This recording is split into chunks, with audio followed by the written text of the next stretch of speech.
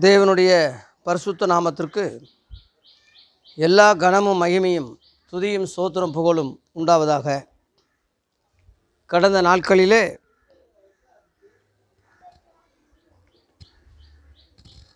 இயேசுவோட தேவனையும் இயேசுவோட பரிசுத்த ஆவியானவரையும் ஒப்பிட்டு பல ரகசியங்களை வேதத்திலிருந்து நாம் பார்த்தோம். முடிவிலே இயேசுவை விட பர்சுத்த ஆவியானவரை விட தேவன் ஒருவரே பெரியவர் என்றும் அவரே ஆதி அந்தம் என்றும் அவரே எல்லாவற்றுக்கும் மேலானவர் என்று அந்த பகுதிகளிலே நம்ம பார்த்தோம். இப்பொழுது அந்த தேவன் எப்படி குணங்களுடையவர் எப்படிப்பட்டவர் எந்த மாதிரி உள்ளவர் என்று அந்த தேவனை பற்றி ஒரு ஏழு குறிப்புகளை இன்றைக்கு நம்ம பார்க்க போகிறோம். தேவனை பற்றி அறிகிற அளவில் சொல்கிற அளவில் உலகத்தில் யாருக்குமே அறிவில்லை ஞானம் இல்லை யாருக்குமே புத்தி இல்லை. ஏன்னா அவர் எல்லாவற்றையும் கடந்தவர். தேவனை பற்றி ஒருவன் முழுசாக சொல்கிற மாதிரி ஒருத்தன் உண்டானா உலகத்தில் அந்த மனுஷ பிறவிகள் யாருன்னு சொல்ல முடியாது. உலகம் முழுவதும் கடவுள் உண்டு தேவன் படைச்சார் என்று அநேக அறிஞர்கள் ஒப்புக்கொள்கிறாங்க ஆனால் அந்த கடவுள் எப்படி தன்மை உள்ளவர் என்று முழுசாக சொன்னதில்லை. சொல்கிறாங்க முழுசாக சொன்னதில்லை. இஸ்லாமியர்கள் அல்லாஹ் என்று சொல்லுகிறார்கள் யா அல்லா என்று சொல்லுகிறார்கள். இந்துக்கள் ஆதி பகவான் என்றும் சர்வேஸ்வரன் என்றும் இறைவன் என்றும் கடவுள் என்றும் நித்யானந்தம் என்றும் இப்படி பல பேர்கள் இன்னும் நிறைய பேர்களை வச்சு அழைக்கிறாங்க. யூத மதத்தை எடுத்துக்கொண்டா யாவே என்று அவங்க சொல்கிறாங்க யூத மதத்தை உள்ளவங்க இஸ்ரேலர்கள் யாவே அது யா அல்லா என்று அவங்க இஸ்லாமியர்கள் அங்கேருந்து பிரிஞ்சு அவங்க சொல்கிறாங்க ஆனால் அதுக்கு முன்னாடி யூதர்கள் வந்து தேவனை யா யாவே என்று அங்கே சொல்வார்கள். கிறிஸ்தவர்கள் எடுத்துக்கொண்டா பிதாவாகிய தேவன் என்று அவரை பிதா என்று இயேசு சொல்லி கொடுத்ததுனால அவங்க பிதாவாகிய தேவன் என்று இவங்க சொல்கிறாங்க மற்ற சித்தர்கள் வந்து நம்ம தமிழ் புலவர்கள் சித்தர்கள் வந்து தேவன் ஒளி வடிவமான ஒளி வடிவமானவர் ஜோதியானவர் ஜோதிகளின் பிதா என்று ஜோதி கடவுள் என்று ஒளியாக அவரை சித்தரிக்கிறாங்க. எல்லாருமே சொன்னது உண்மைதான். ஆனால் முழுமையாக எல்லாரும் சொல்லலை. யானையை தடவி பார்த்த குருடர்கள் ஒரு கதை நமக்கு தெரியும். அவங்கவங்க ஏரியாவில் அவங்கவங்க தடவி பார்த்து அவங்கவங்க சொன்னாங்களே தவிர முழுசாக சொன்னாங்கன்னு சொல்ல முடியாது. அப்படி முழுசாக சொன்னவங்க யாராவது இருக்கிறாங்களா என்று கேட்டால் யூதர்கள் என்று சொல்லப்படுகிற இஸ்ரேல் ஜனங்கள் தான் அந்த வெளிப்பாடை முத முத பெற்றாங்க. கடவுள் அவங்களுக்கு தான் முத முத வெளிப்படுத்தினார். இஸ்ரவேல்கள் சொல்லிட்டா ஒருவேளை நீங்கள் ஜாதி கடவுளா அந்த ஜாதிக்கு தான் வெளிப்படுத்தினாரா அப்படின்னு நீங்கள் ஒருவேளை சொல்லலாம். அப்படி நீங்கள் சொல்கிறத பற்றி எடுத்துக்கொண்டாலும் ஆபிரகாமின் தேவன் ஈசாக்கின் தேவன் யாக்கோப்பின் தேவன் தான் வருது. அந்த யாக்கோப்பு தான் இஸ்ரவேல்னு பேர் மாற்றப்பட்டு அங்கேருந்து தான் யூதர்கள்லாம் வந்தாங்க. ஆனால் அதுக்கு முன்னாடியே ஆப்ரஹாமின் தேவன் சொல்லும்போது அவன் ஒரு புறஜாதி தானே. ஆபி ராம் என்று தான் அவனுக்கு பேர். ராம் கூட்டம் அவங்க. ஆதியாகம் பன்னிரெண்டாம் அதிகாரத்தில் ராம் என்று தான் அங்கே ஆபி ராம் என்று தான் வருது. அதுக்கு முன்னாடி ஆதியாகம் பத்து ஏழில் ராமாண்டு ஒருத்தன் அவங்க முன் சந்ததியார்கள் வர்றாங்க. அதுக்கு பிறகு அவங்க அப்பா த சந்ததிகள் அப்படியே தேராகுன்னு வந்து அப்படியே நாகோர் ஆபிராம் இப்படிலாம் பேரை வச்சு சிலை வழிபாடுகளாக புறஜாதிகளாக அவங்க இருந்தாங்க. அவன் கத்தரை தேடினதுனாலே கடவுள் எப்படிப்பட்டவர்னு அறிஞ்சதுனாலே தேடினதுனாலே அறிய நினச்சதுனாலே மகிமையின் தேவன் அவனுக்கு வெளிப்படுத்தி அவனை வேறு பிரித்து அப்பா விட்டுட்டு வா அம்மா விட்டுட்டு வா உன் தேசத்தை விட்டு வா உன் இனத்தை விட்டுட்டு வா உன் ஊரை விட்டு வா உன் வீட்டை விட்டு வான்னு சொல்லி அவனை வேறு பிரித்து அவனை கொண்டு போய் அப்புறம் ஆபிரகாம்னு பேர் ஆதியாகம் பதினேழு அஞ்சில் மாற்றி அவனுக்கு தான் பல காரியங்கள் வெளிப்படுத்தினார். அவங்கிட்ட இருந்து தான் மதங்களே பிரிஞ்சிருக்கு. இந்த ராமா கூட்டத்திலேருந்து வந்ததுனால அவங்கெல்லாம் இந்துக்கள்னு ராமா கூட்டம்னு அழைக்கப்பட்டாங்க. ஆப்ரஹாம்னு வந்ததுனால யூதர்களுக்கு அவன் தகப்பனானா? யூத மதத்துக்கு. அங்கேருந்து இஸ்மவேல் பிரிஞ்சதுனால இஸ்லாமியர்களுக்கு இஸ்மவேல் இப்போ இஸ்ம இஸ்லாமியர் முஸ்லீம் சொல்லி அவன் இப்ராஹிம் சொல்லி இந்த ஆப்ரஹாமை சொல்கிறான் அந்த யூதர்களிருந்து கிறிஸ்தவங்க வந்ததுனால ஆ- ஆவிக்குரிய தகப்பேன் விசுவாச தகப்பேன்னு ஆப்ரஹாமை அவங்களும் சொல்கிறாங்க ஏறக்குறைய இந்துக்கள் வந்து அவங்கள பிராம பிராமம் பிரம்மா அப்படின்னு சொல்கிறாங்க பிரம்மா சாரால சரஸ்வதின்னு சொல்லுவாங்க. அவங்ககிட்டருந்து அவங்ககிட்ட இருந்து நாலு மதங்கள் வந்ததுனால நான்முக கடவுள்னு அவனை மருவி சொல்கிறது உண்டு. இப்படி ஆப்ராம் மூலமாக தான் எல்லா மதங்களும் உருவாச்சு. ஆதா மூலமாக மனித ஜெனரேஷன் வந்தது மாதிரி ஆப்ரகாம் மூலமாக ஜா எல்லா மதங்களும் உண்டாச்சு. ஆதியாகம பதினோராம் அதிகாரத்தில் எல்லா பாஷைகளும் அங்கே பிரிஞ்சது. மற்றபடி யாருமே வேற்று கிரகத்திலிருந்து எவனும் இங்கே வந்து வேற்று சாமிகளை யாரும் கும்பிடல. அப்படியே மருவி மருவி அப்படியே உலகம் முழுவதும் பரப்பிட்டாங்க. இதுதான் சத்தியம். ஆனால் அந்த ஆபிரகாம க க கடவுளை தேடினதுனால அவனுக்கு ஆண்டவர் அது முத முத தரிசனமாகி வெளிப்படுத்தி அவனை வேறு பிரித்து அவன் சந்ததியை ஆசீர்வதித்து உலகம் முழுவதும் உன்னை நான் ஆசீர்வதிப்பேன் தகப்பனாக்குவேன்னு சொல்லி அவனை வேறு பிரித்து அவங்ககிட்ட இருந்து தான் எல்லாமே உருவாச்சு. அந்த அடிப்படையில் எடுத்துக்கொண்டா தேவன் பச்சபாதம் உள்ளவர் அல்ல. அப்படின்னா ஆதாமின் சந்ததின்னு சொல்லாமல் ஏன் ஆபிரகாமின் சந்ததின்னு சொல்கிறாரு ஆதாம் தானே தேவ சாயல் தேவ ரூபம் முத மனுஷன் தேவ சாயல் அவன் தானே. அவனை விட்டுட்டார்ல. சம்பந்தம் இல்லாத ஆபிரகாமை போய் ஆபரகாம் தேவன் சொல்கிற வேண்டிய விஷயம் என்ன? அவர் பச்சபாதம் உள்ளவர் அல்ல. எந்த மனுஷனையும் பற்றி அவருக்கு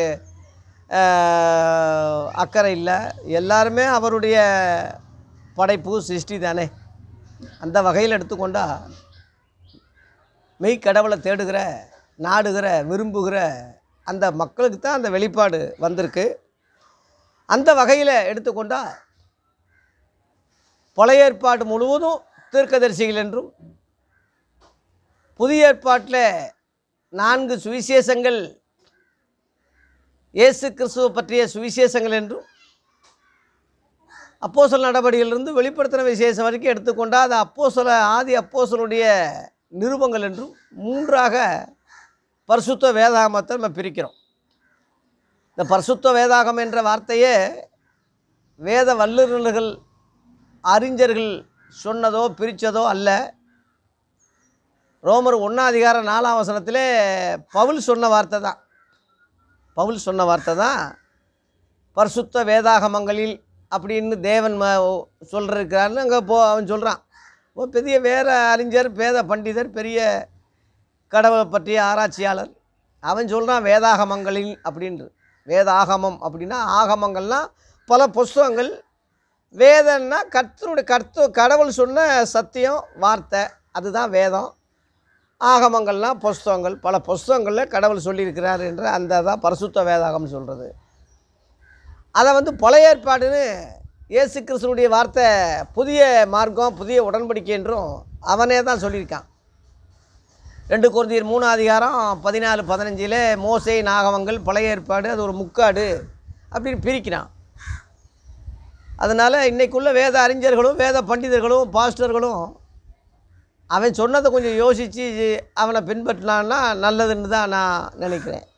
அதனால் வேதாகமத்தை பரிசுத்த வேதாகமத்தை மூன்றாக பிரிக்கலாம். பழைய ஏற்பாடு புதிய ஏற்பாட்டில் சுவிசேஷங்கள் சுவிசேஷங்கள் அடுத்து நிறுவங்கள் வெளிப்படுத்தின விசேஷம் வர மூணு காரியம். பழைய ஏற்பாட்டில் திருக்கதரிசிகள் சொன்னாங்க. புதிய ஏற்பாட்டில் இயேசு கிறிஸ்து சுவிசேஷங்களில் சொல்லியிருக்காரு.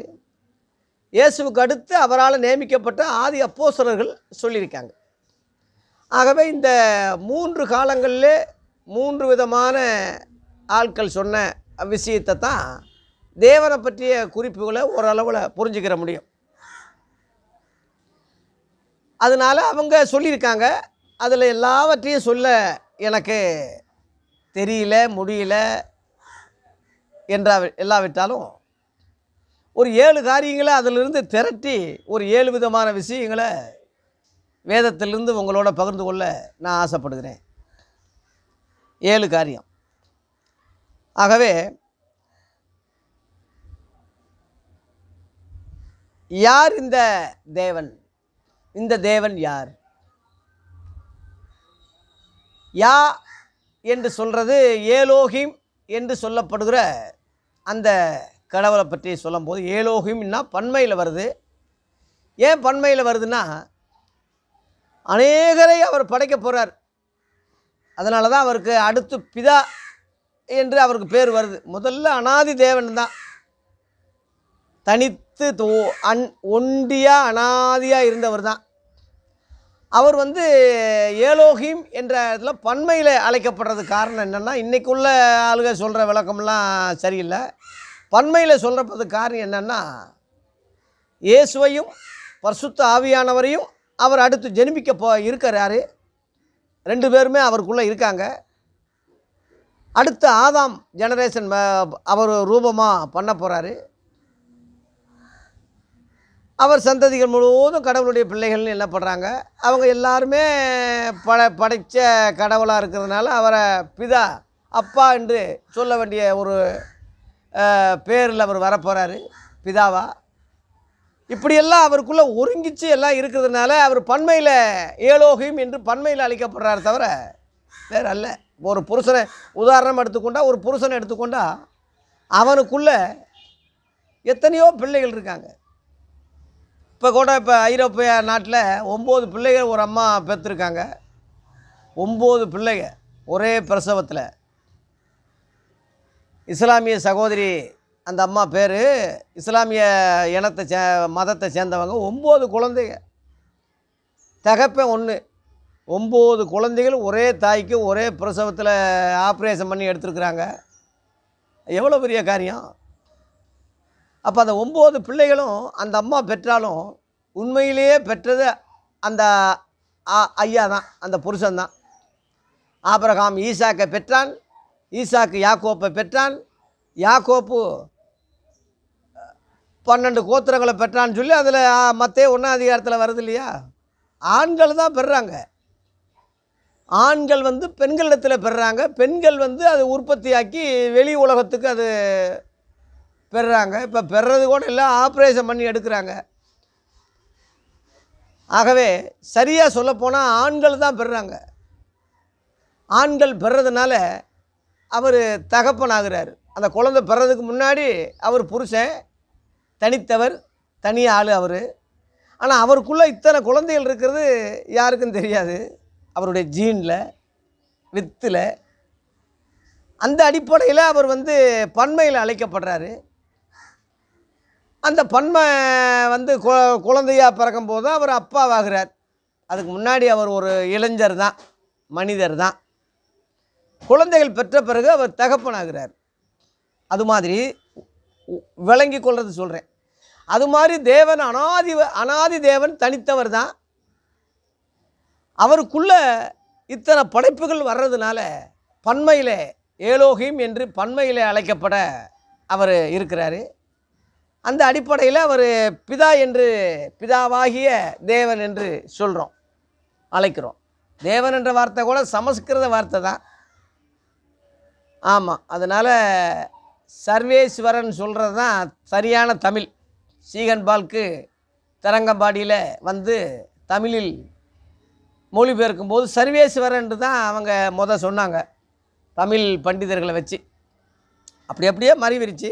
எப்படி சொன்னாலும் தப்பு இல்லை அவர் சர்வேஸ்வரன் சொன்னாலும் சரி கடவுள்னு சொன்னாலும் சரி இறைவன் சொன்னாலும் சரி ஆண்டவ ஆண்டவர் சொன்னாலும் சரி கர்த்தர்னு சொன்னாலும் சரி தேவன்னு சொன்னாலும் சரி எந்த பாஷை எந்த மொழி சொன்னாலும் அதை பற்றி பிரச்சனையே இல்லை. ஏன்னா எல்லா மொழிகளும் அவர் தானே பிரிச்சிருக்காரு தாறுமாறாக்கியிருக்காரு. எல்லா மொழிகள்லையும் அவர் இருக்கிறார்ல. எப்பொருள் யார் யார் வாய் கேட்பினோ அப்பொருள் மெய்ப்பொருள் காண்பது அறிவு வேத வாக்கியங்களை ஆராய்ந்து பாருங்கள் அவைகள் என்னை குறித்து சாட்சி கொடுத்துருக்குன்னு சொன்ன மாதிரி எல்லா வேதங்களும் எல்லா புராணங்களும் எல்லா காரியங்களும் அலசும் போது அந்த கடவுளுடைய நல்லாட்டம் எல்லாருக்குமே இருக்குது ஆனால் யூதர்கள் வந்து முழுமையாக அதை பெற்றிருக்காங்க அறிஞ்சிருக்காங்க தொகுத்து எழுதியிருக்கிறாங்க. அந்த தேவனை பற்றி ஆதி அப்போசர்கள் சொல்லும்போது பூர்வ காலங்களில் பங்கு பங்காகவும் வகை வகையாகவும் பிதாக்களுக்கு திருவுளம் பற்றின தேவன் இந்த கடைசி நாட்களில் குமாரன் மூலமாய் திருவுளம் பற்றினார். இவரை சர்வத்துக்கும் சுதந்திரவாளியாக நியமித்தார் என்று எபிரேயர் ஒன்றாம் அதிகாரம் ஒன்றாம் வசனம் ரெண்டாம் வசனத்தில் அங்கே சொல்லப்பட்டிருக்கு. பூர்வ காலம்னா இயேசு கிறிஸ்து வெளிப்படாத காலத்தில் திருக்கதர்சிகளை கொண்டு அந்த தேவன் அதை தம்மை வெளிப்படுத்தியிருக்காரு. ஒன்று ரெண்டாவது கடைசி காலத்தில் குமாரன் மூலமாக திருவுளம் பற்றி நான் சொல்கிறது இயேசு கிறிஸ்துவாகும். இயேசு கிறிஸ்துவை கொண்டு தன்னை வெளிப்படுத்தினார். ரெண்டு மூன்றாவது இயேசு கிறிஸ்துவால் நியமிக்கப்பட்ட ஆதி அப்போ சூழலை கொண்டு அடுத்து ரகசியங்களையும் வெளிப்பாடுகளையும் முழு உலகத்துக்கு சொல்ல சொன்னார். மூணு. ஆகவே தீர்க்கதரிசிகளும் இயேசு கிறிஸ்துவும் ஆதி அப்போஸ்தலர்களும் இந்த மூன்று தரப்பினர்கள் தேவனை பற்றிய பல குறிப்புகள் சொல்லியிருந்தாலும் உங்களுக்கு ஏழு குறிப்பு மட்டும் அதில் பிரித்து எடுத்து உங்களுக்கு சொல்லி இந்த மெய் கடவுள் தேவன் யார் என்று தெரிஞ்சுக்கிறது அவசியம் என்று நான் விரும்புகிறேன். நம்ம தகப்பனை பற்றி நம்ம தெரிஞ்சுக்கிற வேணாமா? நம்ம தகப்பன் யார் என்ன ஏது அவர் இன்சியல் என்ன அவர் வரலாறு என்னன்னு தெரிஞ்சுக்கிறது தானே ஒரு தே- பிள்ளையினுடைய காரியம்.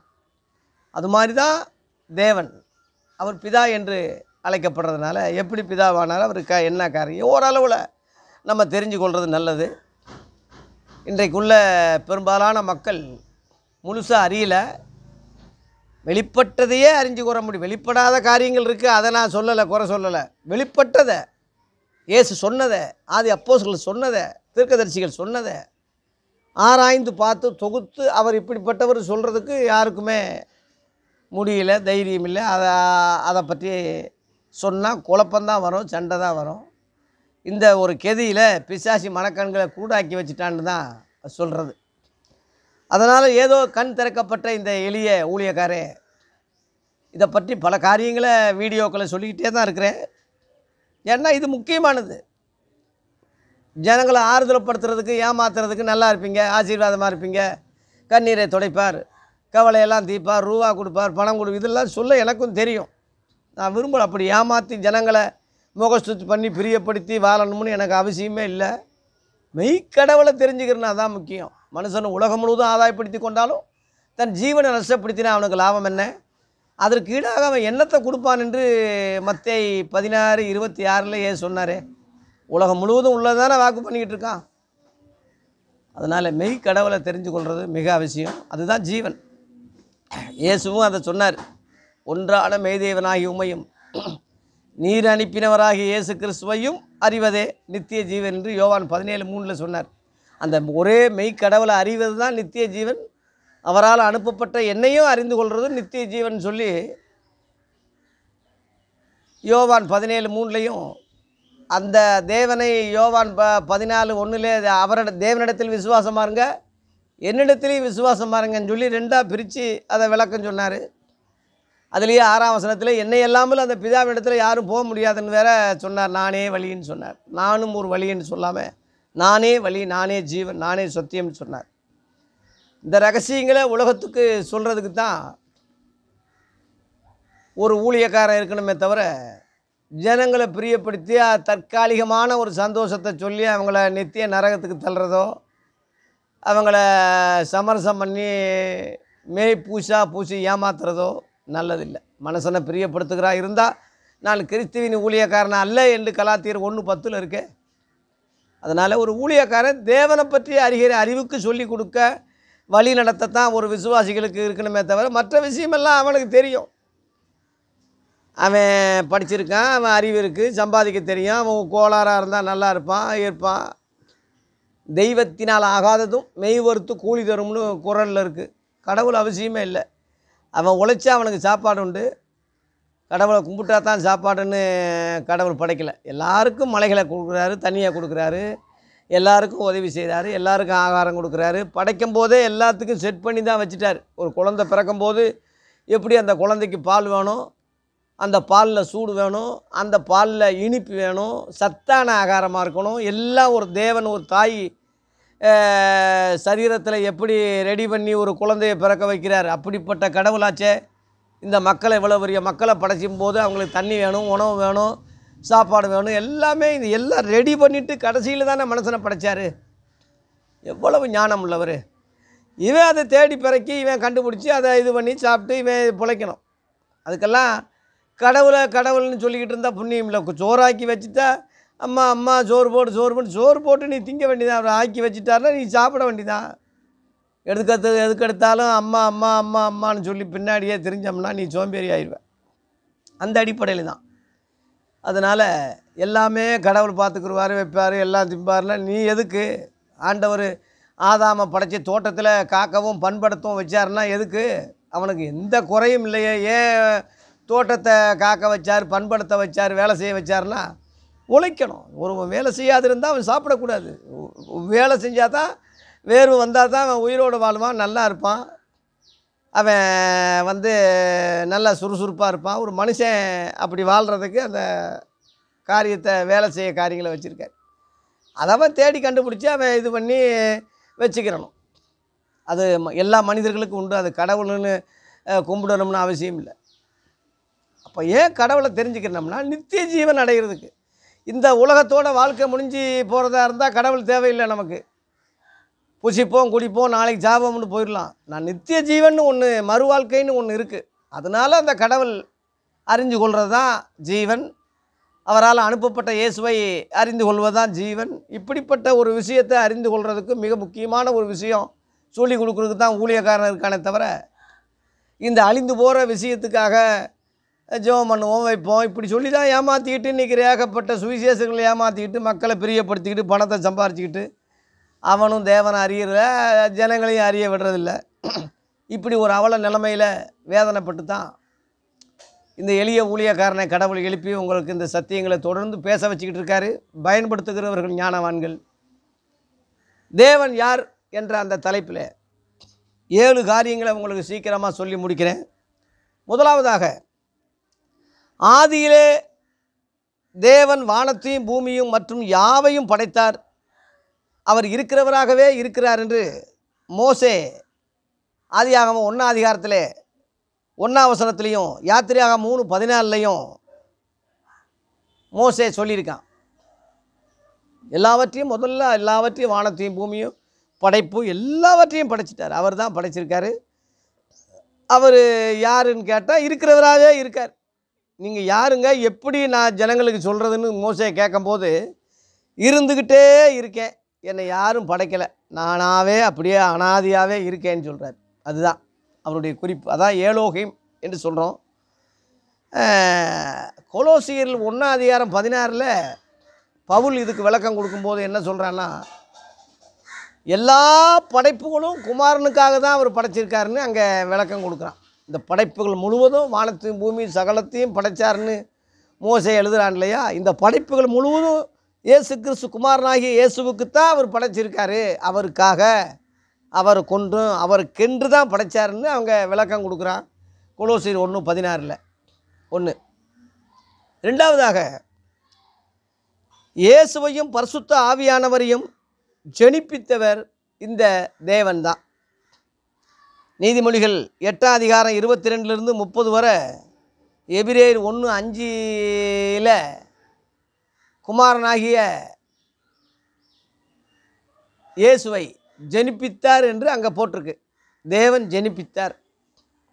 அதே மாதிரி யோபு முப்பத்தெட்டு அதிகாரத்தில் இருபத்தெட்டு இருபத்தொம்போதில் பரிசுத்த ஆவியானவரை நீர் துளிகளை அந்த ஜீவ தண்ணீரை தேவன் வயிற்றிலிருந்து ஜெனிப்பித்தார் அப்படின்னு போட்டிருக்கு. அதெல்லாம் ரொம்ப ரகசியமான காரியம். ஆகவே ஜெனிப்பித்தார் சொல்கிறது அவருடைய ஜீன். அவருக்குள்ளே இருக்கிற ஆவிக்குரிய ஜீன் ஆவிக்குரிய வகையில் ஜெனிப்பிக்கப்படுறாரு ஆவிக்குரிய வகையில் தனித்துவமாக வார்த்தையானவர் வந்துறாரு. அடுத்து பரிசுத்த ஆவியானவர் ஜல ரூபம் கொண்டு கெட்டியான நீரூற்றை போல நீர் துளிகளைப் போல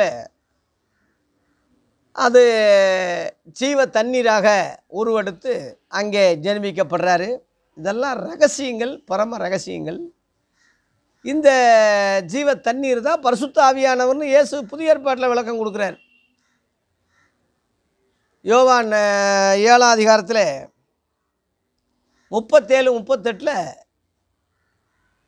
என்னை விசுவாசிக்கிறவன் உள்ளத்திலிருந்து ஜீவ நதிகள் ஓடும். ஜீவ தண்ணீர் உள்ள நதிகள் ஓடும். பரிசுத்தாவியானவரை குறித்து அப்படி சொன்னாருன்னு அதுக்கு கீழே விளக்கம் இருக்குது அதனால் ஜீவத்தண்ணீர் ஆவியானவர் தாகம் தீர்க்கும் தண்ணி ஜலம் இதெல்லாம் ஆவிக்குரிய வகையில் பரிசுத்த ஆவியானவரை தான் குறிக்கும். அது அது தேவன் ஜெனிப்பித்திருக்காரு. அதுக்கு முன்னாடி இயேசுவை ஜெனிப்பித்திருக்கிறார். ஆகவே இந்த தேவன் யாருன்னு சொல்லும்போது இந்த ரெண்டு பேரையும் அவர் ஜெனிப்பித்தனால அவர் பிதா என்ற பேரை உடையவராக ஆயிடுறார். ரெண்டாவதாக. மூன்றாவதாக இயேசுவை பூமிக்கு அனுப்பியவர் இவரே. அவர் ஆதியிலே அபிஷேகம் செய்தவர் இவரே. இயேசுவை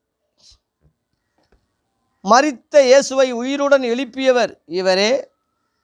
இயேசுவுக்கு தலையானவர் இவரே. இயேசுவை விட பெரியவர் இவரே. இந்த தேவன் யார் என்ற காரியத்தில் இயேசுவை பூமியிலே அனு முத அனுப்பினவர். பிதாவானவர் குமாரனை உ- உலகத்துக்கு அனுப்பினார் என்று நாங்கள் கண்டு சாட்சி கொடுக்குறோம் என்று ஒன்று யோவான் நாலு பதினாலில் அப்போஸ்தலர்கள் சொன்னாங்க. யோவான் மூணாம் அதிகாரம் பதினேழாம் வசனத்தில் தேவன் தம்முடைய ஒரே பேரான குமாரனை உலகத்தில் ஆக்கினிக்குள்ளாக தீர்க்க அனுப்பாமல் அவரால் உலகம் ரட்சிக்கப்படுவதற்காகவே அவரை அனுப்பினார் என்று யோவான் அப்போஸ்தலன் சொல்கிறான் அவர் அனுப்பினவராகிய இயேசுவையும்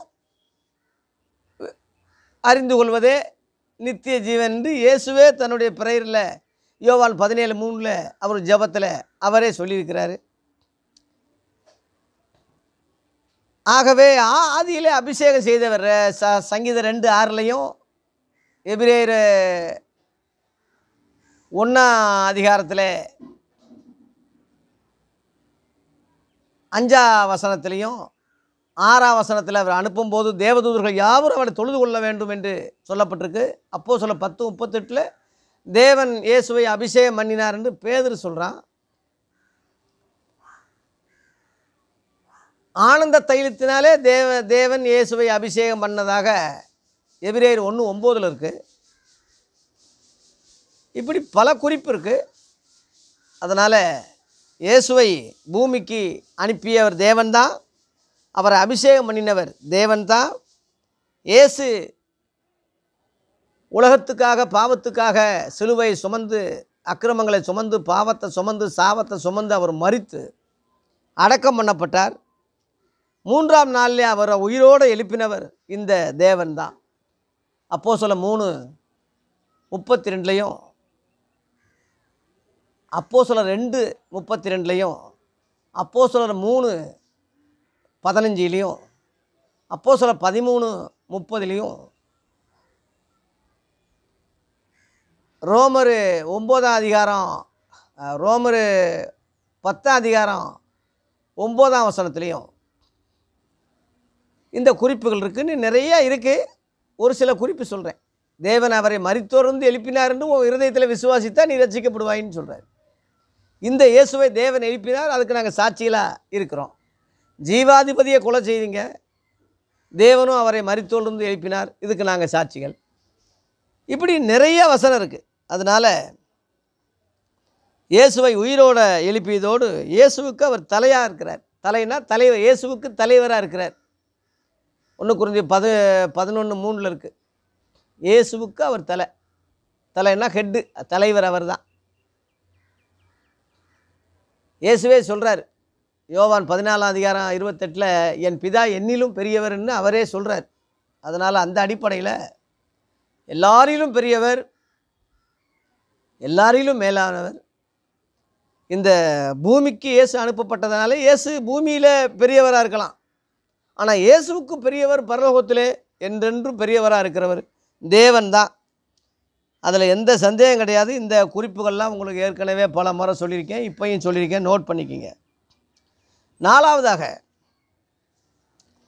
ஒரே மெய்தேவன் அவரே. இயேசுவே இதை சொன்னது. ரெண்டு தெய்வமா? மூணு தெய்வமா? அப்படின்னு சொல்லி சிலர் சொல்கிறாங்க இல்லையா? தேவன்களில் அழைக்கப்படலாம். இப்போ பவுல கூட ம மெலித்தா தீவில் தேவன்னு சொன்னாங்க.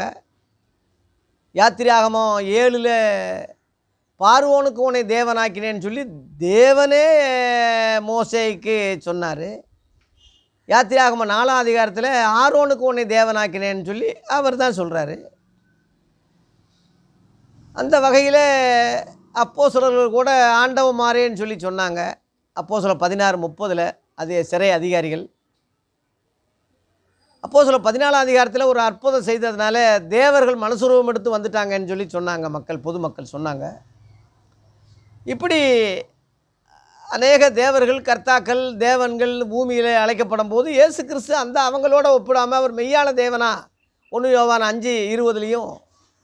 சர்வத்துக்கும் மேலான தேவனாக ரோமர் ஒம்பது அஞ்சுலேயும் அப்போ சிலர் சொல்கிறாங்க ஆனால் அந்த தேவனுக்கு அந்த இயேசுவாகிய தேவனுக்கு தேவனானவர் பிதா தாண்டு இயேசுவே சொல்கிறார் என் தேவன் உங்கள் தேவன் ஏன் பிதா உங்கள் பிதான்னு சொல்லி யோவான் இருபது பதினேழுலையும் சொல்கிறாரு என் தேவனே என் தேவனேன்னு ஏன் என்னை கைவிட்டீர்னு சொல்லி சிலுவையில் சொல்கிறாரு பிதாவே உம்முடைய கரத்தில் என் ஆவி ஒப்பு கொடுக்குறேன்னு சொல்கிறாரு அதெல்லாம் பொய்யா சொன்னார் ஏமாத்தா சும்மா ஆக்ஷன் பண்ணுறாரா நாடகத்தில்? எல்லாம் உண்மை. மெய்யாகவே மெய்யாகவேன்னு சொன்னவர் பொய்யாகவே பொய்யாகவே சொல்லி ஜன் நடிப்பாரா அறிவு வேணாம் உங்களுக்கு. அவர் சொன்னதெல்லாம் உண்மை அப்படியே நம்புங்க. அதுக்கெல்லாம் ஒரு கற்பனையில் விளக்கம் கொடுத்து எவனோ ஒரு நாய் சொல்கிறான்னு சொல்லி தயவு செய்து வேதத்தை மறுதளிச்சிடாதீங்க இயேசுவை மறுதளிச்சிடாதீங்க ஆமாம் என்னை விசுவாசிக்கிறது தான் என் என் பிதாவையும் நம்புங்கன்னு சொல்கிறார்ல நான் அவர் தான் என்னை அனுப்புனாரு நான் தானாக வரலன்னு சொல்கிறார்ல நீ என்னத்தை போட்டு நீங்கள் இது பண்ண போகிறீங்க மனக்கண்களை குருடாக்கப்பட்ட குருடர்களே இயேசுவை நம்புங்க. அவர் சொன்ன வார்த்தைகளை நம்புங்க. வேதனையாக சொல்கிறேன் ஒரே மெய் கடவுள். அந்த தேவன் ஒருவர் தான். கடவுள் மெய் மெய் தேவன் எடுத்துக்கிட்டு அவர் தான். இயேசுவே அதை சொல்கிறார் யோவான் பதினேழு மூணில் ஒன்றான மெய் தேவனாகி உண்மையும் அவரே சொல்கிறார் ஒன்றான மெய் தேவன் சொல்லி இவர் அவரே சொல்லும்போது அதெல்லாம் கிடையாது. நீங்கள் தான் எங்களுக்கு கடவுள்னு சொல்லி சொன்னால் நீ என்ன முட்டா பையனாக இருக்க? எத்தனை நாள் உனக்கு விளக்குறது? எவ்வளோ நாள் தான் வசனம் சொல்கிறது உனக்கு அறிவு வேணாமா? அப்படின்னா வேதத்தையே மறுதளிச்சிரு ஒன்றும் இல்லாமல் உன் புத்திக்கு உன் பாஸ்டர் சொல்கிற மாதிரி போ உன் அறிவுக்கு. மற்ற அஞ்சாதிகாரம் நாற்பத்தெட்டில் அவர் பூரண சர்க்குணர் என்று இயேசு சொன்னார். முத முத மலைப்பிரசங்கத்திலேயே பிதாவை பூரண சர்க்குணர் பூரணம்னா அவர் தான் எல்லாமே அவர் தவிர வேறு ஒன்றும் இல்லை. இயேசுவை கூட ஒருத்தன் நல்ல போதகரேன்னு சொல்லும்போது என்னை நல்லவன் ஏன் சொல்கிற தேவன் ஒருவர் தவிர நல்லவன் ஒருவனும் இல்லையேன்னு சொன்னாரே. இயேசு நல்லவர் தான். அதை விட நல்லவராக ஏ- இயேசு கிறிஸ்துவே ச சர்டிஃபிகேட் கொடுக்குற அளவில் தேவன் நல்லவராக பெரியவராக இருக்கார் சர்க்குணராக இருக்கிறாரு. அதுலேயே நாற்பத்தஞ்சாம் வசனத்தில் அவர் நல்லோர் மேலும் தீயோர் மேலும் மழையை பெய்ய பண்ணுறாரு சூரியனை உதிக்க பண்ணுறாருன்னு தேவன் பச்சபாதம் உள்ளவர் அல்ல. எல்லாரும் கடவுளுடைய பிள்ளை தான் இதை தெரியாமல் யூதர்கள் சொன்னாங்க இஸ்ரவேலின் தேவன் சொல்லி. எங்கள் கடவுள்னு சொன்னாங்க. ஏன்னா அவர் என்ன குலசாமியா குலம்னா ஒரு ஜாதி. ஒரு ஜாதி கடவுளா அவர்? குலதெய்வம்னு சொல்கிறாங்களே சிலர். குலதெய்வம்னா ஒரு குறிப்பிட்ட ஜாதிக்கு கடவுள்னு அர்த்தம். அப்படி கடவுள் கிடையாது. தேவன் அப்படி இருக்க முடியாது. அப்படிப்பட்டவர் கடவுளாக இருக்க கூ- எப்படி தகுதி உள்ளவராக இருக்கும்? எல்லா மக்களும் படைச்சாருன்னு அவரை எப்படி சொல்ல முடியும் நம்ம?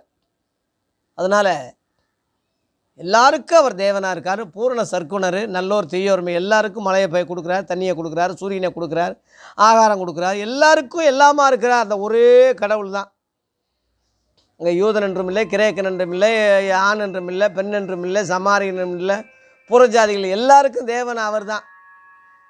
ரோமர் மூணு இருபத்தொம்போதில் பவுல் சொல்கிறான் தேவன் யூதருக்கு மாத்திரமா தேவன்? புறஜாதிகளுக்கும் அவர் தேவன் அல்லவா? ஆம் புறஜாதிகளுக்கு அவர் தேவன் தாண்டு அங்கே அடித்து சொல்கிறான் எபேசி நாலு ஆறில் ஒரு ஒரே தேவனும் பிதாவும் உண்டு எல்லாருக்கும். அவர் எல்லார் மேலும் எல்லாரோடும் உங்கள் எல்லாருக்குள்ளும் இருக்கிறாருன்னு எங்கள் மூன்றாக பிரித்து பவுல் சொல்கிறான் அதை வந்து நம்ம யாரும் மறுக்கவே முடியாது. தேவன் ஒருவரே தேவனுக்கும் மனுஷனுக்கும் மத்தியஸ்தர் ஒருவரே. அவர் தான் அந்த மத்தியஸ்தர் தான் ஏசுன்னு சொல்லி ஒன்று தீமத்தி ரெண்டாம் அதிகாரத்தில் நான் அஞ்சாம் வசனத்தில் பவுல் சொல்கிறான் தேவன் ஒருவரே என்ற வார்த்தை. ஒன்று குறிஞ்சி ப பன்னிரெண்டாம் அதிகாரத்துலேயும் தேவன் ஒருவரே கர்த்தர் ஒருவரே ஆவியானவர் ஒருவரே மூணு பேரும் ஒருவரே ஒருவரேன்னு பிரித்து சொல்கிறாங்க வேதத்தை நம்புங்க. சத்தியத்தை நம்புங்க. ஆதி சொல்ல நம்புங்க. இதைத்தான் நானும் சொல்கிறேன் என் சுய அறிவோ என் சுய வெளிப்பாடோ எங்கேயோ எவனோ சொல்லி கொடுத்ததோ இல்லை நாளை சொல்லிட்டேன். அஞ்சாவதாக இயேசுவுக்கு தேவன் பிதாவாக இருக்கார்.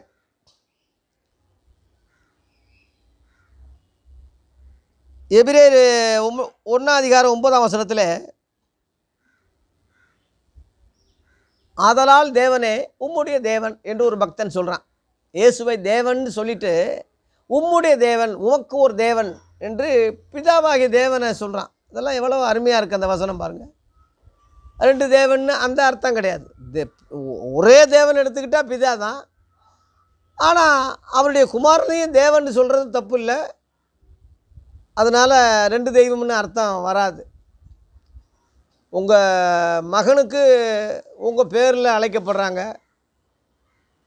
இப்போ முத்துவேல் கருணாநிதியா ஸ்டாலின் ஆகிய நான் என்று அவர் பதவி ஏற்றும் போது ஸ்டாலின் அந்த வார்த்தை சொன்னார். அப்போ மூணு பேர் இருக்காருன்னு சொல்கிறதா முத்துவேலு கருணாநிதி ஸ்டாலின் மூணு நபர் அவர்? நபர் அவர் அவர் ஒரு ஆள் தானே? அவங்க அப்பா கருணாநிதி அவங்க அப்பாவுக்கு முத்துவேலு. அதனால் வெற்றிவேல் வீரவேல்னு சொன்னவெல்லாம் தோத்துட்டான். ஒரு முத்துவேல்னு சொன்னவர் ஜெயிச்சிட்டார். முத பதவி ஏற்றும் போது அந்த மூணு பேரை சொன்னார். முத்துவேல் கருணாநிதி ஸ்டாலின். மூவர் பேர் அங்கே வருதில்ல அதனால் மூணு முதலமைச்சர்னு அர்த்தம் இல்லை. முதலமைச்சர் இவர் தான் அந்த மாதிரி தேவனே உம்முடைய தேவன் சொல்லும்போது அப்போ ரெண்டு தேவன்கள்னு அர்த்தம் இல்லை. இவர் நமக்கு கண்கண்ட தெய்வமாக இருக்கார் அவர் காணாத தேவனாக இருக்கார். தேவனை ஒருவனும் ஒரு காலம் கண்டதில்லை காணக்கூடாதவர். அவரால் அனுப்பப்பட்ட இவரும் தேவனை தேவனை போல இருக்கார். தேவனாக அதான் போட்டிருக்கல யோவான் ஒன்று ஒன்றில் ஆதியிலே வார்த்தை இருந்தது. அந்த வார்த்தை தேவனிடத்தில் இருந்ததுனால அந்த வார்த்தை தேவனாக இருந்தது. தேவன் அல்ல தேவனாக இருந்தது.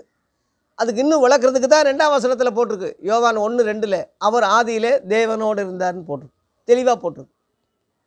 அப்போ தேவன் வந்துடுறார் இல்லையா? தேவன் சொல்கிறது வேறு தேவனாக இருந்தாருன்னு சொல்கிறது வேறு. இப்போ உங்களை ஒரு ஆள் பார்க்குறாரு. அடுத்து உங்கள் மகனை உங்கள் சாயில் இருக்கிறதுனால உங்கள் அப்பாவா அப்பாவை போல் நீங்கள் இருக்கீங்களே. அப்பாவாகவே உங்களை காண்கிறேன்னு சொன்னால் அவர் அப்பான்னு சொல்ல முடியுமா? அப்பாவாக. அந்த மாதிரி தான் ஒரு மனுஷனுக்கு எப்படி அவங்க அப்பா பேர் சொல்லி அவங்க அப்பாவுக்கு அப்பா பேரை சொல்லி அழைக்கிற மாதிரி இப்போ எப்படி அரசாங்கம் கொண்டு வருதோ அதுபோல தான்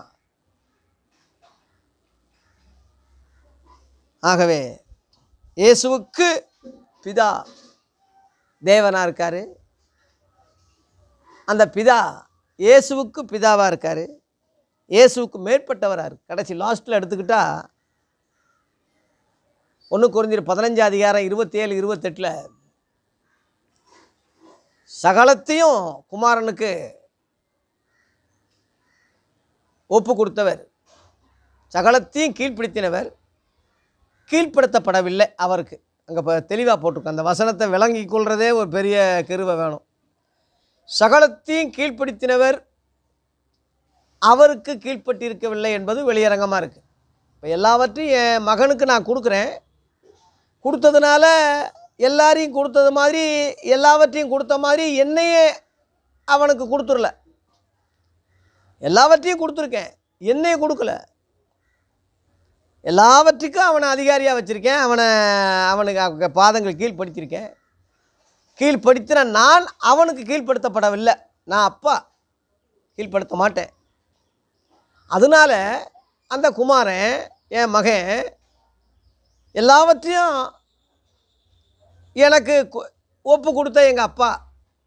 எல்லாவற்றையும் எனக்கு கீழ்ப்படுத்தின எங்கள் அப்பாவுக்கு நான் கீழ்ப்பட்டு என்னைக்கும் கீழ்ப்பட்டே இருப்பேன் அப்படின்னு சொல்லி என் மகன் சொல்கிறான் அந்த அர்த்தம் தான் அது. ஒன்று குறைஞ்சிரு பதினஞ்சு அதிகாரம் இருபத்தி ஏழு இருபத்தெட்டு. இந்த ரெண்டு வசனம் தயவு செய்து படிங்க. லாஸ்ட்டு அது. லாஸ்ட்டில் எல்லாவற்றுக்கும் தேவனே மேற்பட்டவராக இருப்பார் குமாரன் கீழ்ப்பட்டே இருப்பார். இந்த ஒரு ரகசியத்தை தயவு செய்து நீங்கள் வாசித்து புரிஞ்சுக்கிங்க. அஞ்சாவதாக. ஆறாவதாக சகல பூமியில் உள்ள சகல மக்களையும் ஒரே இரத்தத்தினாலே தோன்ற பண்ணி உலகம் முழுவதையும் குடியிருக்க செய்தவர் அந்த அறியப்படாத அந்த தேவன் ஒருவர் தான் அப்போ சொல்ல பதினேழாம் அதிகாரத்தில் இருபத்தி மூணுலேருந்து முப்பது வரை தயவு செய்து அதங்க வசனம் பார்த்தீங்கன்னா புறஜாதிகளுக்கு தேவனை பற்றி ரொம்ப அருமையாக பவுல் சொல்லியிருக்கான்.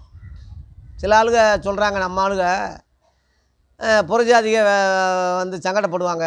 புறஜாதிகளுக்கு இயேசுவை தேவனா சொல்லுங்கள் நமக்குள்ளே இயேசுவை பிதான்னு சொல்லு இயேசுவுக்கு மேலே பிதா இருக்காருன்னு சொல்லிக்கிருவோம். நமக்குள்ளே சொல்லிக்கிருவோம். புறஜாதிகளுக்கு சொன்னால் அப்போ அவர் ஒரு கடவுளா இவர் ஒரு கடவுளான்னு அவங்க சங்கடப்படுவாங்கன்னு சொல்லி இவன் சொல்லி மாற்றி பல்ட்டி அடித்து பொய் சொல்லி சுவிசேஷம் சொல்கிறதுக்கு நினைக்கிறான். அது ரொம்ப தப்பு இல்லையா? அங்கே ஒன்று இங்கே ஒன்று எப்படி சொல்கிறது இதுவே மொதல் தவறு இல்லையா? பொய்யை சொல்லி அவர் சுவிசேஷம் சொல்கிறது புறஜாதிகளுக்கு பவுல் ஊழியம் செய்யும்போது அப்படியா சொன்னால் அறியப்படாத தேவன் ஒரு பலிபடம் வச்சு கும்பிட்டுக்கிட்டு இருக்கீங்க. அவரைத்தான் நான் சொல்ல வந்திருக்கேன். அந்த கடவுள் வந்து யாருக்குமே தூரமானவர் இல்லை. நம்ம எல்லாருக்குள்ளே அவர் அசைவாடுறார் இருக்கிறாரு. அவருக்குள்ளே நம்ம பிழைக்கிறோம் வைக்கிறோம். வானத்தையும் பூமி எல்லாத்தையும் படைத்தவர் ஒரு கோயிலில் அவர் வாசம் பண்ண மாட்டார். மனுஷ கையில் அவர் பணிவிட கொள்ள மாட்டார். உங்கள் புலவர்களும் கூட இந்த கடவுளை பற்றி எழுதியிருக்காங்க. அப்படி இருக்கும்போது நம்ம தேவனுடைய சந்ததிகளாக எல்லாரும் ஒரே ரத்தத்தில் தான் கடவுள் தோன்ற பண்ணியிருக்காரு. நம்ம வந்து அப்படி எல்லாரும் சகோதரர்கள் சகோதரிகளாக இருக்கும்போது நம்ம கல் மண் இதெல்லாம் அது கடவுள் ஒப்பா நம்ம நினைக்கக்கூடாது. அதெல்லாம் அறியாமையுள்ள காலம். தேவன் காணாதவரே போல் இருந்தார். இப்போ எல்லாரும் மனம் திரும்பணும்னு எங்கும் உள்ள எல்லாருக்கும் ஒரே கட்டளை இடுறாரு மனம் திரும்புறதுக்கு. கடைசியில் நியாயந்திருப்பு வச்சுருக்காரு. அந்த நியாயந்திருப்பில் ஒரு ஒரு மனுஷனை நமக்காக நியமித்து வச்சுருக்காரு. அந்த மனுஷனை மருத்துவர்லேருந்து அவர் எழுப்பியிருக்காரு. அதனால் அதனுடைய நிச்சயத்தை எல்லாருக்கும் விளங்க பண்ணியிருக்கிறான்னு சொல்லி முப்பத்தொன்றில் சொல்லி முடிக்கிறான். இதை கிறிஸ்தவன் அறிஞ்சாலே போதுமே. ஒரு ஊழியக்காரன் இதை அறிஞ்சு ஞானமாக புரிஞ்சு இப்படியே புரிஞ்சு அறிஞ்சு பிரசவம் பண்ணாலே போதும் ராஜா. இறைகள்ளி சொல்கிறான் ரெவரண்டு சொல்கிறான் ஏன் முப்பதா எவன் சொல்லி உனக்கு விளக்கி கொடுத்து உனக்கு நல்லா சொல்லியிருக்கிறான்? தயவுசெய்து உங்களை மாற்றிக்கங்க ஆதி அப்போசர்களை பின்பற்றுங்க. அவங்க சொல்கிறத கேளுங்க. அவங்க சொல்கிற வசனத்தை கேளுங்க. நான் புறஜாதியிலிருந்து வந்ததுனால எனக்கு கே தெளிவாக தெரியுது. நீ பாரம்பரியத்திலேயே கிறிஸ்தவனாக வந்து உன் அப்பா சொல்லி கொடுத்தது அவங்க அப்பா சொல்லி கொடுத்தது அவன் ரெவரண்டு சொல்லி கொடுத்தது. தப்பாகவே சொல்லி கொடுத்து தப்பாகவே வந்திருக்கீங்க. அதனால் தப்பாகவே தெரியுது உங்களுக்கு. அதனால் வசனத்துக்கு போங்க. நான் இப்போ நான் என்ன என் கருத்து சொல்லி சொல்கிறேன்னா இல்லை என்னை பின்பற்ற சொல்கிறேனா இல்லை ஏன் நான் எதையாவது ஒன்று சொல்கிறேன்னா வசனத்தை நம்ம கையில் உள்ள வசனத்தை நான் நம்புகிறேன் அது உண்மைன்னு சொல்கிறேன் நீ ஒரு கிறிஸ்தவ ஏன் வசனத்தை நம்ப மாட்டாங்கிற? வசனத்தை ஏன் பின்பற்ற மாட்டாங்கிற? வசனத்தை தானே நான் சொல்கிறேன் வேறு ஏதாவது சொல்கிறேன்னா தயவு செய்து புரிஞ்சுக்குங்க. சகலரையும் ஒரே ரத்தத்தில் தோன்ற பண்ணுறார் அதனால் கீழ் ஜாதி மேல் ஜாதி உயர்ந்த ஜாதி தாழ்ந்த ஜாதி அப்படிலாம் கிடையாது. மனித பிறப்பு ஒரே பிறப்பு தான் ஒன்றே குலம் ஒருவனே தேவன் சொல்கிறது திருமூலர் சொல்கிறது தான் கரெக்டான காரியம். வேதத்தின் அடிப்படையில் தான் திரு திருவள்ளுவர் திருவள்ளுவரும் சரி திருமூலரும் சரி சித்தர்களும் சரி ஏறக்குறைய வேதத்தை அனுசரித்து தான் சொல்லியிருக்காங்க எல்லோரும். அதனால தானே உங்கள் புலவர்களும் கூட இவரை சொல்லியிருக்காங்கன்னு பவுல் சொல்கிறான் புலவர்கள்லாம் சித்தர்கள் நம்ம சொல்கிறோம் எல்லாவற்றுக்கும் குரு இயேசுதான்னு இயேசுவே சொல்கிறார் மற்ற இருபத்தி மூணு பத்தில் குருக்கள் என்று அழைக்கப்படாதீங்க. கிறிஸ்து ஒருவரே உங்களுக்கு குருவாக இருக்கார். அப்பான்னு எடுத்துக்கிட்டால் பரலோகத்தில் ஒரு ஒருவரே உங்களுக்கு பிதாவாக இருக்காருன்னு சொல்லி அதே மற்ற இருபத்தி மூணு ஒம்போதில் சொல்கிறாரு அப்பா எல்லாம் ஹெட்டு அவர் தான் அங்கே சொல்லி கொடுக்குறாரு. அதுதான் பவுல் சொல்கிறான் அதைத்தான் நான் சொல்கிறேன் அதனால் உலகத்தில் உள்ள எல்லாரும் மதத்தால் ஜாதியால் மொழியால் பிரிக்காதீங்க. எல்லாருக்கும் ஒரே ரத்தம் ஒரே கடவுள். எல்லாருக்கும் ஒரே கடவுள் தான் உலகம் முழுவதும் செதறி போக பண்ணியிருக்கார். ஒரே பாஷையாக இருந்ததுனால செதறி போகக்கூடாதுன்னு ஒரு கோபுரம் கட்டுறதுனால செதறி போகக்கூடிய பாஷைகளை பிரித்தார் மக்கள் செஞ்ச தப்பு தான் அது. பழுகி பெருகி பூமி நிரப்புங்கன்னு சொன்னால் ஆதியாகம் ஒன்று இருபத்தெட்டில் ஆசீர்வச்சார் ஒரே இடத்துல இருக்குன்னு சொன்னால் அதனால தான் பாஷைகள் பிரித்து அவங்கள வேறு பிரிக்கி வேறு பிரித்து போக சொன்னார். அதான் காரியம். அப்படிப்பட்டவர் தம்முடைய குமாரனை அனுப்பி கடைசியில் எல்லாரையும் சகல ஜாதிகளையும் ஒன்றாக்கி எல்லாருக்கும் ஞானஸ்தானம் கொடுத்து ஒரே ஜாதி ஆக்குங்க பரிசுத்த ஜாதி ஆக்குங்கன்னு சொல்லி எல்லா ஜாதிகளையும் ஒரே ஜாதி ஆக்க சொன்னார். ஜாதிகள் முழுவதும் வேலையால் வந்தது தானே. அவவே வேலையில் என்னென்ன வேலை செஞ்சானோ அந்த வேலை அடிப்படையில் ஜாதிகள் என்னப்பட்டது குலம் என்னப்பட்டது அதனால் உயர்ந்த நல்ல நீட்டாக ஜாதி செஞ்சால் உயர்ந்த ஜாதி ரொம்ப தாழ்ந்த வேலை செய்தால் தாழ்ந்த ஜாதி. இப்படி மக்கள் பிரிச்சுக்கிட்டாங்க. பிராமணர்கள் வந்து தான் அதை மனு தர்மம்னு ஒன்று எழுதி தப்பாக உயர்ந்த ஜாதி தாழ்ந்த ஜாதி சூத்திரர் நான் பிராமணன்னு சொல்லி மனு தர்மமாக அவன் அவனுக்கு சாதகமாக எழுதி மக்களை அடிமைப்படுத்தினான் ஆதி தமிழர்கள் அதை எதிர்த்து போராடினாங்க. வடக்க அம்பேத்காரும் கிழக்க பெரியாரும் தமிழ் பண்டிதர்களும் அதை குறித்து ரொம்ப போராட்டம் நடத்துனாங்க. அதெல்லாம் வரலாறு உங்களுக்கு தெரியும். பிராமணங்க நம்ம இந்தியாவை சேர்ந்தவங்க இல்லை. கைபார் கனிவா வழியாக ஏறக்குறைய ஒரு ரெண்டாயிரம் வருஷத்துக்கு முன்னாடியே அவங்க வந்துரு வந்திருக்காங்க. ரெண்டாயிரத்தி ஐநூறு வருஷம் காலம் வருது. கைபார் வன க- கனவா வழியாக நம்ம இந்தியாவுக்குள்ளே நுழைஞ்சு இங்கே உள்ள சிற்று அரசர்கள் எல்லாம் பயன்படுத்தி அவங்க வசப்படுத்திக்கிட்டாங்க கடவுள் பேரால்.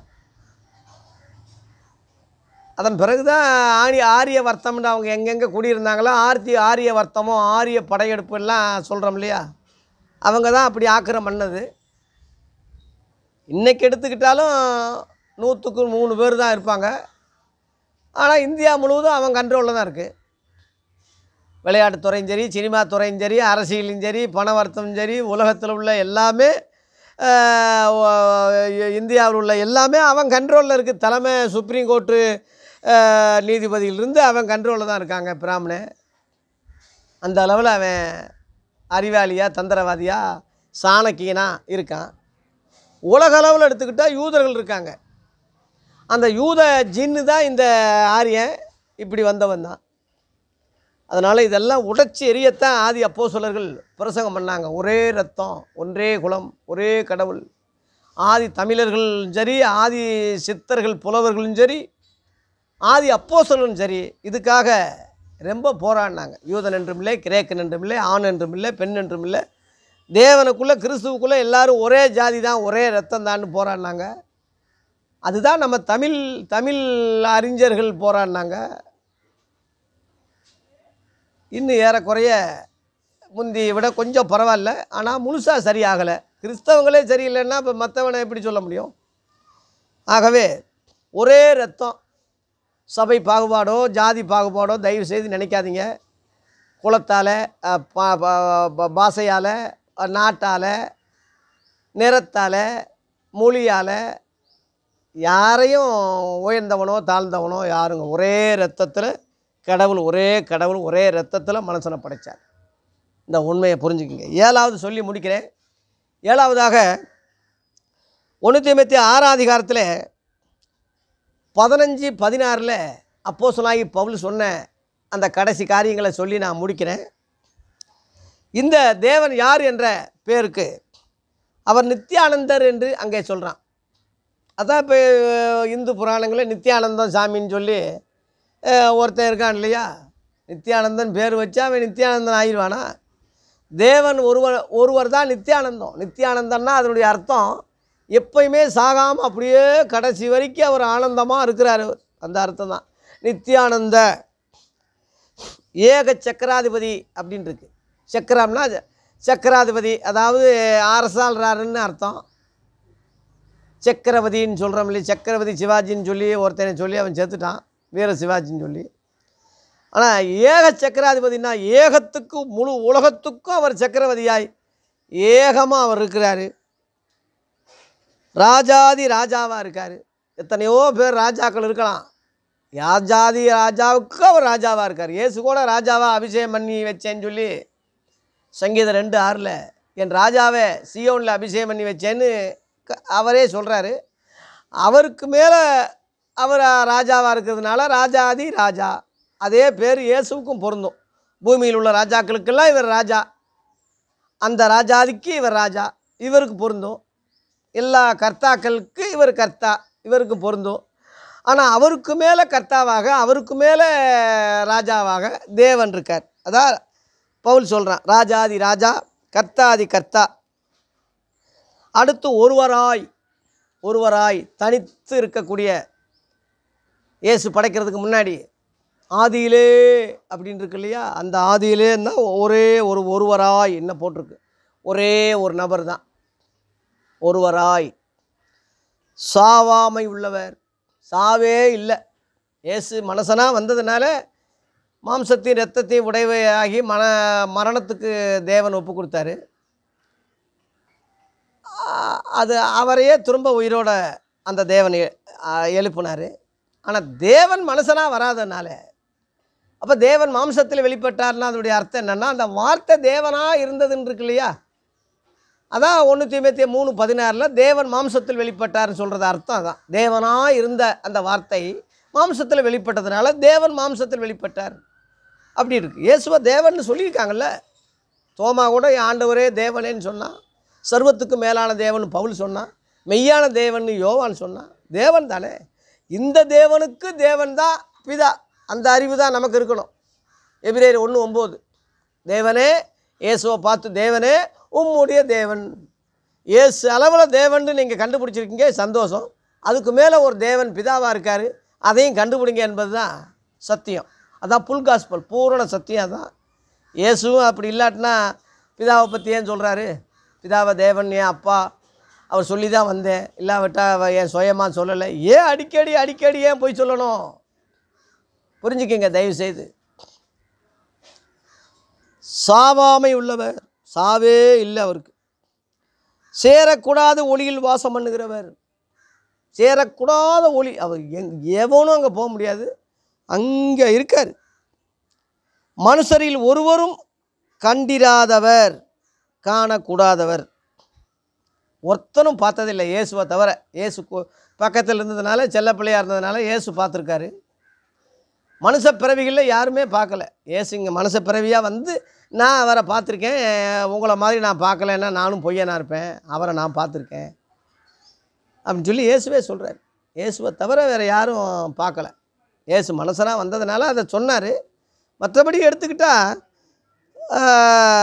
மனுஷரில் ஒருவரும் கண்டிராதவர் காணக்கூடாதவர். ஒன்று தீமத்தி ஆறாம் அதிகாரத்தில் பதினஞ்சு பதினாறில் நான் சொல்கிற இத்தனையும் அங்கே இருக்குது ஒன்று ஒன்று தீமத்தி ஆறாம் அதிகாரம் பதினஞ்சு பதினாறு.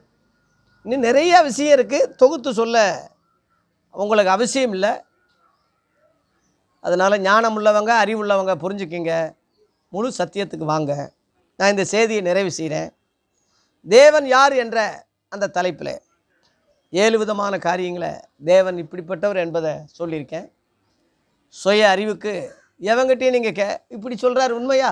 அப்படி சொல்கிறார் உண்மையா? ஏ வசனம் சொல்லியிருக்குன்னு சொல்கிறேன் வசனத்தை போய் அவங்ககிட்ட போய் உண்மையான்னு கேட்டால் உனக்கு புரியலையா? அறிவு இல்லையா உனக்கு? படிப்பு இல்லையா? வசனத்தை படிச்சுக்கிட்டு இருக்கிறீங்களே அதை பாரு பா புரிஞ்சுக்க. இன்னொருத்தங்கிட்ட உன்னை மாதிரி மனுஷன் தானே அவன் உன்னை போ போட்டு குழப்பிக்கிட்டு இருந்தானே என்ன செய்ய?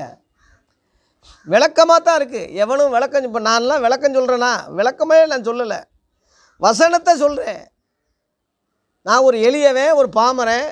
எனக்கே விளங்குதுன்னா உங்களுக்கு எப்படி விளங்காமல் இருக்கும்? நீங்கள் பலிசி நாலேஜ் உள்ளவங்க இங்கிலீஷ் நாலேஜ் உள்ளவங்க அறிவாளி மேதைகளாக இருக்கீங்க. உங்களுக்கு எப்படி விள விளங்கலைன்னு எப்படி சொல்ல முடியும்? அப்படின்னா உங்களுக்கு மனநிலைமை ஏதாவது பாதிச்சிருக்கா? ஏதாவது மூளை குழம்பி குழம்பிருச்சா? மெண்டல் கிண்டல் பிடிச்சிருச்சா உங்களுக்கு? கிறிஸ்துவ பற்றிய உபதேசம் கெட்டு போகிறவனுக்கு பைத்தியமாக இருக்குன்னு இப்போ இப்போ நீங்கள்லாம் மெண்டல்கள் லூசலா பைத்தியமா நீங்கள் ரட்சிக்கப்படுகிற நமக்கோ அது தேவபலனாக இருக்குது நீங்கள் உண்மையிலே ரட்சிக்கப்பட்ட தேவபலனாக இருந்தால் வசனத்தை வசனமாக ஏற்றுக்குங்க விளக்கமாக தான் இருக்குது எல்லா வசனம் விளக்கம்லாம் எவனும் கொடுக்க வேண்டிய அவசியம். தமிழில் அழகாக அருமையாக விளக்கமாக கொடுத்துருக்காங்க. இது போல் உலகத்தில் எந்த மொழிபெயர்ப்பும் தமிழை போல் ஒரு மொழிபெயர்ப்பு கிடையாது. தேவனையும் இயேசுவையும் பிரித்து சொல்கிறதுல தமிழ் தான் சிறந்தது.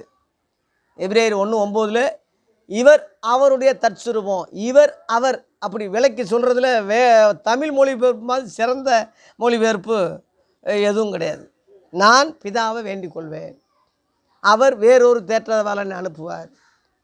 இந்த மாதிரி ஒரு சரியான ஒரு மொழிபெயர்ப்பு எந்த மொழியில் இருக்குது நான் அறிந்த மொழிகளில் தமிழ் மொழியை போல் எங்கும் காணேன்னு பாரதியார் பாரதியார் சொன்னானே.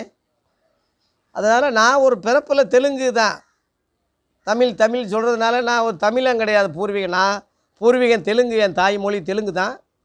தமிழை ஏன் சொல்கிறேன்னா அவ்வளோ சிறப்பாக இருக்குது எங்கள் இந்திய ஆந்திராவில் தெலுங்கு பா பாஷையில் பைபிள் இருக்குது அதில் இந்த அளவில் தெளிவாக இல்லை. இந்தியில் தெளிவாக இல்லை. இங்கிலீஷ்லேயும் தெளிவாக இல்லை. எந்த மொழியிலையும் தெளிவாக இல்லை. தமிழ் மொழியைப் போல் ஒரு சிறந்த மொழிபெயர்ப்பு உலகத்திலேயே இல்லை. அதை மொ முத புரிஞ்சுங்க எபிரேய மொழிக்கு ஈக்குவலானது தமிழ். ஆதியிலே ஆதாம் பேசுனதே தமிழ் தான் சில புலவர்கள் சொல்கிறாங்க மண் தோன்றி கல் தோன்றா மூத்த குடிமகன் பேசுனது தமிழ் வார்த்தை என்று ஆதாமே தமிழ் தான் பேசினான்னு ஒரே பாஷை இருந்ததுன்னு இருக்கு இல்லையா அது தமிழ் தான் சொல்கிறாங்க ஏன்னா தமிழுக்கு அஞ்சாயிரம் வருஷம் சரித்திரம் இருக்குது மனுஷன் ஏறக்குறைய அஞ்சாயிரம் ஆறாயிரம் வருஷம்தான் மனுஷன் படைச்ச வரலாறு வருது. கரெக்டாக இருக்குது அந்த நே அந்த காலத்தில் எந்த மொழியும் உலகத்தில் இருந்ததாக இல்லையே. இப்போ இங்கிலீஷ் எல்லாம் இப்போ வந்தது தானே? இந்தியெல்லாம் கடைசியில் வந்த மொழி தான் அது ஏறக்குறைய ஒரு ஐநூறு அறநூறு ஆயிரம் இன்னும் சொல்லப்போனால் ஆயிரத்தி ஐநூறு வருஷத்துக்குள்ளே தான் எல்லா மொழியும் வந்திருக்கு. ஆதியில் இருந்தது தமிழ் தான் ஆண்டவர் அதை தாறுமாறாக்கி பல மொழிகளில் சிதறி போக பண்ணார். இதுதான் சத்தியம். அதனால் வேதம் தெளிவாக இருக்குது சத்தியம் தெளிவாக இருக்குது தெளிவாக புரிஞ்சுக்குங்க. சத்தியத்தையும் அறிவீர்கள் சத்தியம் உங்களை விடுதலையாக்கும். ஒன்றான மெய்தேவனாகிய அந்த கடவுளையும் அவரால் அனுப்பப்பட்ட இயேசுவையும் அறிந்து கொள்கிறது தான் நித்திய ஜீவன். தேவனை அறியலைன்னா இயேசுவை நீங்கள் அறியலைன்னு அர்த்தம். இயேசுவை அறிந்திருந்தால் தேவனை அறிஞ்சிருப்பீங்க. பிதாவை ஏற்றுக்கிற குமாரனை ஏற்றுக்கிறவன் குமாரன் சொல்லும்போது பிதாவை ஏற்றுக்கிட்டதுக்கு அர்த்தம் தான் பிதாவை மறுதளிக்கிறவன் குமாரன் உடையவன் அல்ல. குமாரனை உடையவன் பிதாவையும் உடையவனாக இருக்கிறான். அதனால இந்த பிதாவையும் குமாரனையும் மறுதளிக்கிறவே அந்தி கிறிஸ்து ரெண்டு பேர் கிடையாது ஒரே ஆளுன்னு சொல்கிறது அந்தி கிறிஸ்து ஆவி. அப்போ சொல்ல சொல்கிறாங்க அது. ஒன்று யோவா நாலாம் அதிகாரத்தில் இருக்குது தயவு செய்து அந்தி கிறிஸ்து ஆவிக்கு போயிடாதீங்க. இயேசு சொன்னதை நம்புங்க அப்போ சொல்ல சொன்னதை நம்புங்க தீர்க்கதரிசிகள் சொல்கிற வார்த்தைகளை நம்புங்க.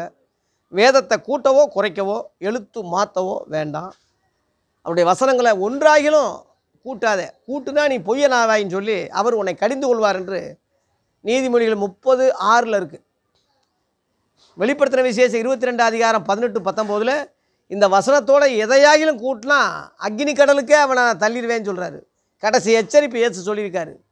தயவு செய்து உங்கள் கற்பனைக்கு புத்திக்கும் இதை மாற்றாதீங்க நம்முடைய அறிவு தீர்க்க தரிசனம் சொல்கிறதெல்லாம் குறை உள்ளதாக பவுலே சொல்கிறான் ஒன்று குறைஞ்சர் பதிமூணில் ஒம்பது பத்தில் சொல்கிறான் நம்முடைய அறிவு குறை உள்ளது. ஏசு சொல்கிறத நம்புங்க. பரலோகத்திலிருந்து வருகிறவர் எல்லாரிலும் மேலானவர்.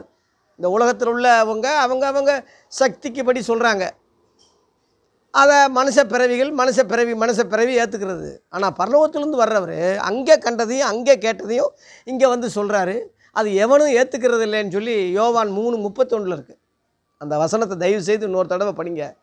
யோவான் மூணு முப்பத்தி ஒன்று பரலோகத்திலிருந்து வருகிறவர் இயேசு. எல்லாரிலும் பெரியவர். அங்கே கண்டதையும் அங்கே பிதா கிட்ட கேட்டதையும் இங்கே சொல்கிறாரு நான் சுயமாக பேசலை அவர் சொல்லி கொடுத்தது தான் பேசுகிறேன்னு சொல்லி யோவான் பன்னெண்டில் நாற்பத்தி ஒம்பது ஐம்பதில் சொல்கிறாரு அதுதான் இங்கே சொல்கிறாரு அது எவனும் ஏற்றுக்கிறலேன்னு இருக்குது இன்றைக்கி ஏறக்குறைய எல்லாரும் ஏற்றுக்கிறாம தான் இருக்காங்க. கிறிஸ்தவங்களுக்கே புரியல ஏற்றுக்கிறலன்னா இதான கொடுமையான காரியம். நீ ஒரு கிறிஸ்தவன்னு வெக்கம் இல்லாமல் சொல்லிக்கிட்டு திரியிற போதகர் பாஸ்டரு பைபிள் ஸ்டடின்னு சொல்லி வெக்கம் இல்லாமல் செஞ்சுக்கிட்டு இருக்கிறிய கேவலம் இல்லையா உனக்கு? தெரிஞ்சுக்க.